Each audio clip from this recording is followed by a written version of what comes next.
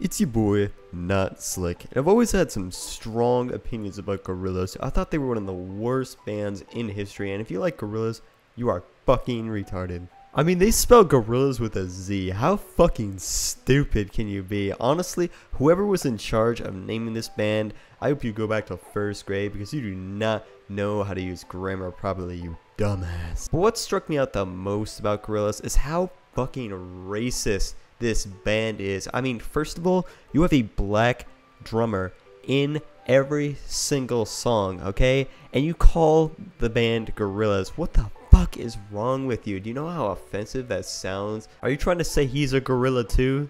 Is he a part of the gorillas? Does he swing from the vines like all the rest of the white band members? I mean, besides the green guy that looks like a frog. But like I always say, this channel is against racism. We try our best to make the world a better place. And I had to call this out because this is just gotten out of hand. It's amazing how overlooked this facet of the Gorillaz is. But on to more recent news involving the Gorillaz. The Gorillaz have released a new song they call Humility. It came out a few days ago as of today, and damn, there is some serious racist imagery in this music video that we just need to discuss right away. So one of the first racist imagery you see in this video is an Asian lady and she's playing chess against this black man, right? Take a look what the black man is wearing on his head. That is a traditional samurai head attire that is not to be worn in normal circumstance. How dare you mock samurai culture? On top of this, this video has racial implications like the Asian lady is smarter than the black person. That is so offensive. This cannot stand.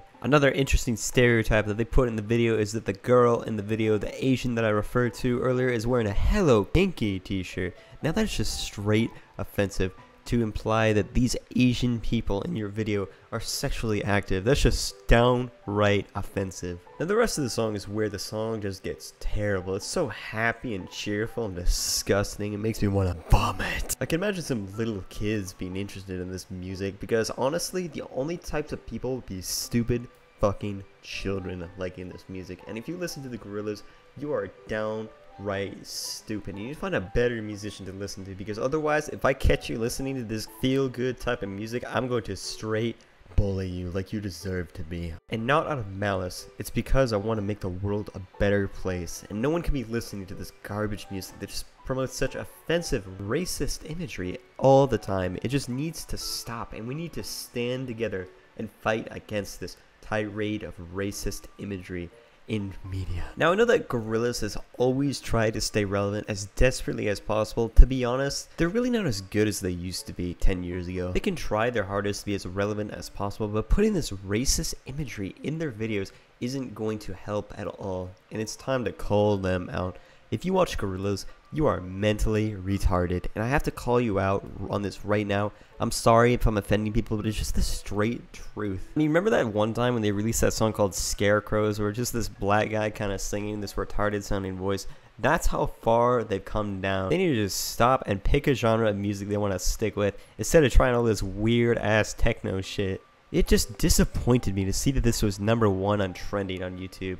Now, if you want to join my movement and help the Not Slick Boys and I fight racism, then I want you to hit that motherfucking subscribe button and watch my content because we are going to help make the world a better place one step at a time and we're going to fight racism. Don't you worry, my boys. We'll stand together as one because it doesn't matter if you're black, Asian, or white. You should all be accepted, and that's the point of the Not Slick Boys. And if you have anything against that, Fuck you. This has been your boy, Not Slick, and thank you for watching. The outro is coming in three, two, one.